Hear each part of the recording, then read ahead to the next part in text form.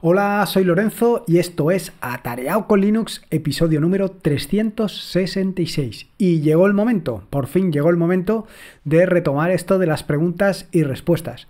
Se trata de, de un tipo de episodios que a mí, la verdad, me gustan muchísimo. Me gustan muchísimo porque se trata de, pues, una forma de llevar un poco más allá el podcast, de dar de establecer como una especie de diálogo. Evidentemente allí al otro lado no hay nadie, pero bueno, más o menos viene a ser eso. Eh, la verdad es que en los últimos meses, pues el número de preguntas, por las circunstancias que sean, llámalo pandemia, llámalo como lo quieras llamar, han sido relativamente pocos.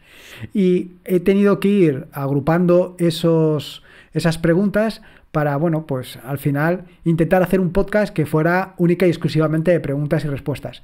No sé si en los próximos meses o en los próximos en las próximas ocasiones cambiaré el enfoque. Cambiaré el enfoque de manera que cuando llegue una o dos preguntas, pues hacer un podcast en el que conteste esas dos preguntas y luego pues trate otros temas. Porque eh, el problema con el que me he encontrado es que por no dar respuesta a esas preguntas, pues han ido acumulando y acumulando y no he contestado ni siquiera por correo electrónico. Y esto es una cosa que me exaspera hasta límites insospechados. Lo cierto es que me vuelvo loco. Cada vez que veo que tengo correos sin contestar, es, es una cosa que me puede. Pero bueno, ¿qué le vamos a hacer?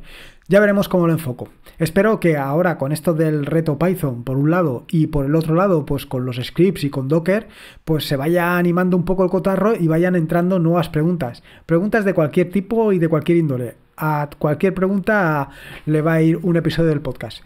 Eh, como ya conté en el grupo de Telegram de Atareado con Linux, pues un poco el objetivo era que aproximadamente semana sí, semana no, hacer un episodio de preguntas y respuestas que para mí sería incluso fantástico hacerlo todas las semanas, porque eh, yo creo que es bastante más ameno que oírme a mí contarte alguna milonga o algún rollo. Pero bueno, ya veremos cómo va evolucionando esto, o simplemente se queda en este episodio y hasta dentro de dos o tres episodios más perdón, hasta dentro de dos o tres meses más, no me vuelves a hablar o no me vuelves a escuchar hablar sobre eh, preguntas y respuestas.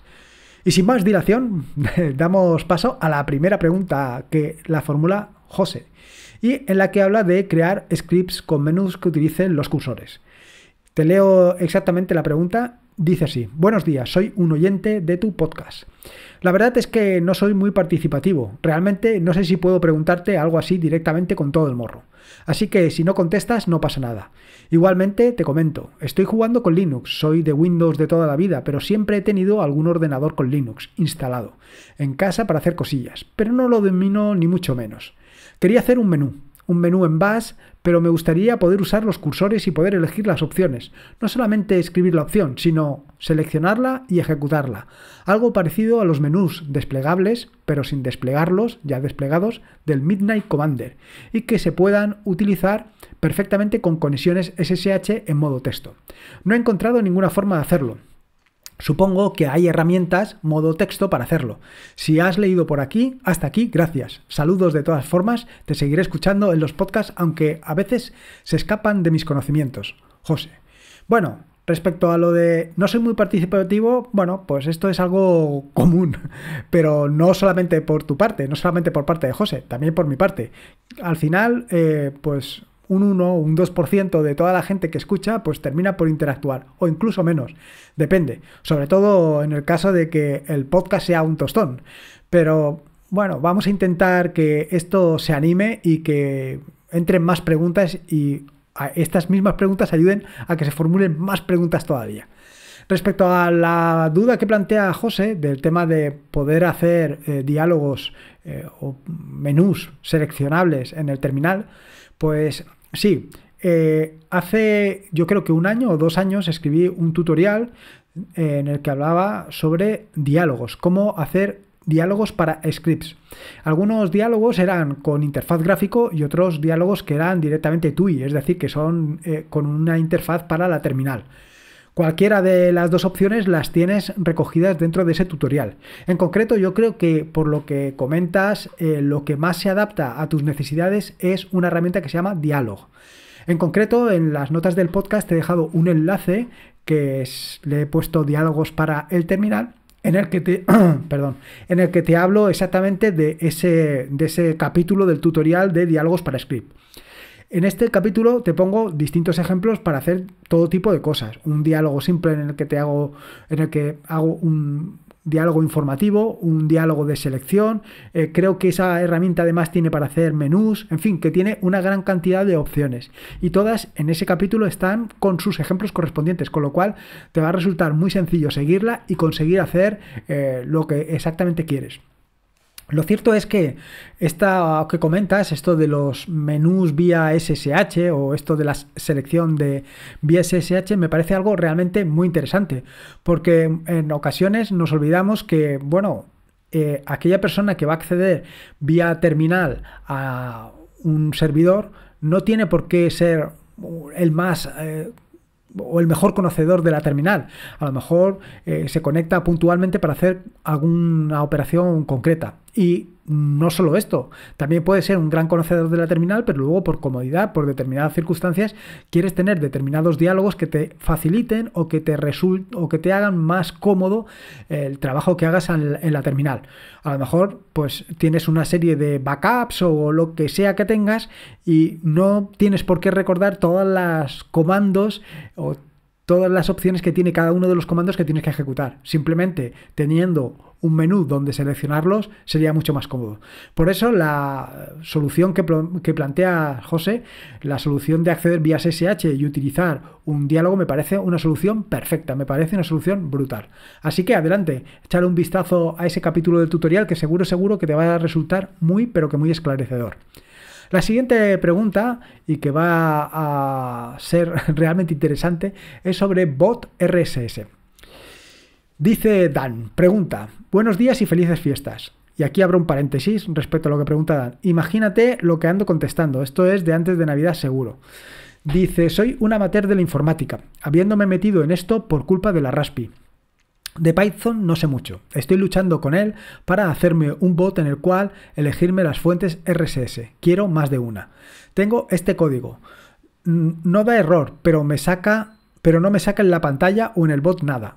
Y me pone un enlace que ya te dejaré yo. Bueno, ahora te contaré. Entiendo que estás muy ocupado, pero intento pedirte ayuda para ir entendiendo y aprendiendo poco a poco cómo puedo hacerlo. El código para ir creando algo de contenido, no solo copiar y pegar. Te lo agradecería muchísimo si tuvieras dos minutos para poder guiarme. Un saludo y sobre todo gracias. Tu blog está fijo en mi barra de marcadores y lo consulto al menos una vez al día. Un saludo y gracias. Un saludo a ti, eh, Dan, por contestar. Bueno, por contestar, no, por escribir. Eh, la verdad es que le contesté a Dan una primera vez, pero la segunda eh, no lo contesté porque me parecía muy interesante lo que planteaba y bueno, pues lo he ido dejando, he ido dejando pensando en que lo metería en un episodio del podcast de preguntas y respuestas y ya ves dónde hemos llegado. Tres meses después es cuando le voy a dar una contestación y además no la contestación que se espera. Como sabes, en el reto Python he establecido que cada 15 días eh, pues voy a plantear un reto. ¿Qué es lo que sucede? Pues que como de costumbre, los ansias que están tanto en el grupo de Atareado con Linux como los ansias que están promoviendo o patrocinando el, eh, podcast, vaya, aquellos que eh, participan con el Patreon, pues insisten en aumentar la frecuencia con la que se publican estos retos. Entonces he pensado que esto da para un reto. Este bot RSS y con la solución que ha planteado eh, Dan, pues con una primera aproximación da para un reto. Así que eh, voy a prepararlo para el próximo miércoles y voy a meterlo en un episodio de preguntas y... Oh, perdón, en un, digamos, vamos a llamarlo en un, en un midget, en un mediano, en un intermedio, un, reto intermedio. Un reto intermedio en el que eh, te pondré más o menos lo mismo que hemos estado haciendo, pero un poco más concreto y mucho más dirigido para que, bueno, pues para abrir un poco de boca y ver cómo solucionarlo. Te pondré a lo mejor la primera de las soluciones, quizás la que plantea Dan, y luego a partir de ahí eh, te plantearé pues otras alternativas o exactamente qué es lo que conseguir. o incluso, bueno, ya veremos, ya veremos. Yo creo que puede estar interesante y puede ser gracioso. Además, esto me da pie a otra cosa. Y es que, eh, a ver, el reto que propuesto, bueno, el reto, el, final del objetivo que he propuesto para todos los retos, que es crear una aplicación que se encargue de eh, nuestro diógenes digital, está muy bien, pero tiene un problema y es que es la visión a largo plazo. A lo mejor, entre medias, estaría interesante meter un, un reto intermedio que trate con Telegram. De manera que hacer un bot para Telegram para hacer determinadas eh, pequeñas operaciones que sean realmente muy sencillas o muy concretas y esto pues le da mucha vidilla y le da mucha vidilla por el hecho de que es algo que ves inmediatamente. Esto es una de las cosas que más me gustan del tema de la informática, del tema de la programación en concreto. Y es que eh, ese subidón de adrenalina cuando consigues algo, pues es precisamente lo que se puede conseguir eh, con esto, primero de los retos por un lado y luego por otro lado, por ejemplo, con el tema de Telegram. No hace falta que consigas llegar al reto, pero simplemente con conseguir enviar un mensaje y que el mensaje llegue a algún sitio, pues la verdad es que está muy interesante. Así que voy a plantearlo y voy a mostrarte exactamente qué es lo que hay que hacer en este próximo reto del miércoles. Así que si no tenías bastante, eh, ¿Cómo es eso? Si no querías caldo, dos tazas. O algo así. No recuerdo cómo era exactamente. La siguiente no es una pregunta, es algo que me ha llamado muchísimo la atención. Y es sobre Touchpad Indicator. Enrique dice, hola Lorenzo. Ya vengo usando Linux desde el 2000.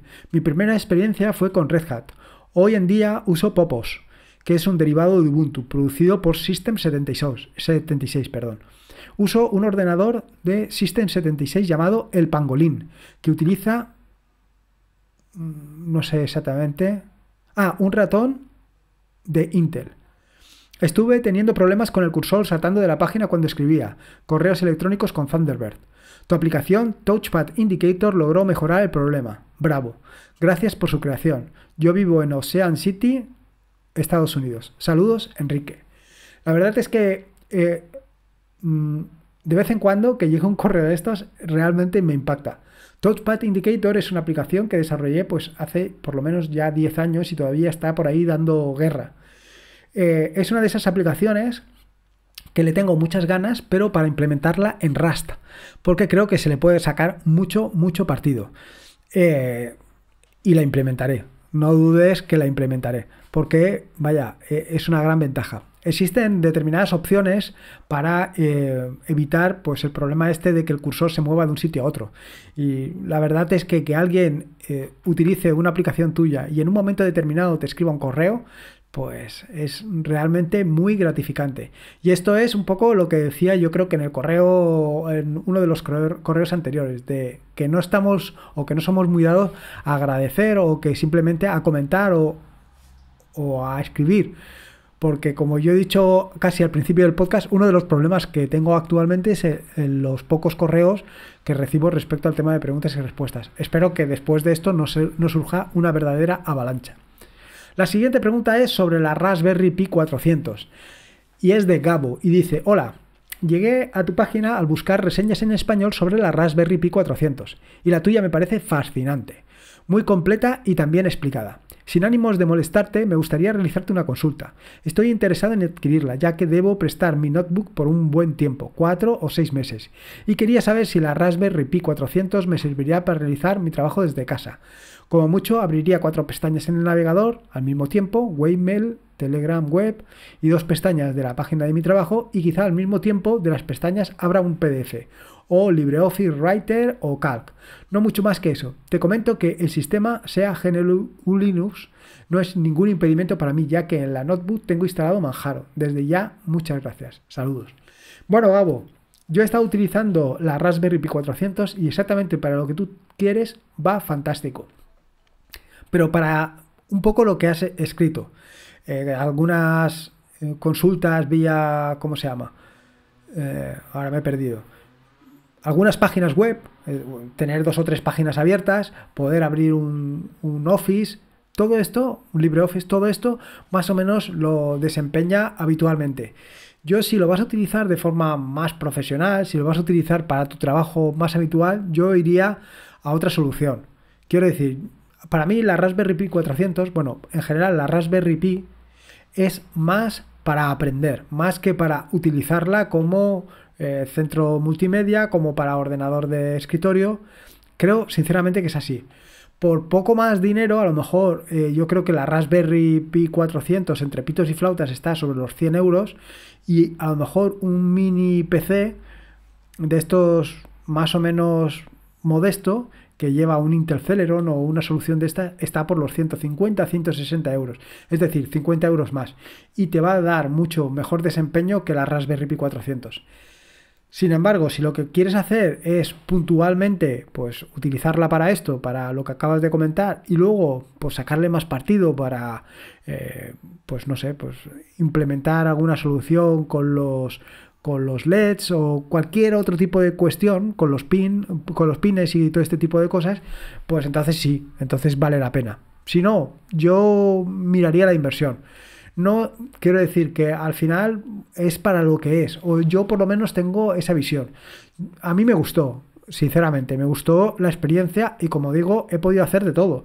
He podido navegar, he podido programar directamente en Python utilizando eh, la aplicación que comenté en el tutorial sobre la Raspberry Pi 400. En fin, he podido sacarle un poco de partido. Pero para el trabajo diario eh, no, no lo termino de ver. En fin, cada uno es libre de hacer lo que quiera. Pero esa es un poco mi opinión. Bueno, en fin, estas son las cuatro preguntas que he recogido. Tengo todavía alguna más en la, eh, como te digo, en la recámara, pero bueno, la voy a dejar ahí madurando porque eh, tenía intención de sacar primero la del, la del bot RSS para el, precisamente para el mini reto, para el reto mediano de mitad de semana. Y mientras tanto, lo que voy a hacer es contarte en qué ando metido, porque probablemente eh, veas que estas últimas semanas he publicado poco pero si te vas al GitHub verás que hay muchas cositas y cosas muy interesantes. Lo primero es que he estado publicando eh, un poco ah, de la mano del amigo Rapejim, Raúl, eh, una actualización de Expulsabot, que es el bot que utilizamos en algunos de los canales de Telegram, tanto Yugi como, o sea, Ángel de Yugi, como en el, en el, en el eh, grupo de Telegram de de Atareao, en el grupo de Telegram de Ubuntizados y algún que otro grupo, pues estamos utilizando este bot. Em, eh, este bot está o lo he empaquetado en un Docker, en un Docker file y está disponible para quien quiera que lo pueda utilizar. Pero eh, hemos metido algunas actualizaciones como es la posibilidad de desbanear a alguien en el caso de que, pues por las circunstancias, se quede baneado.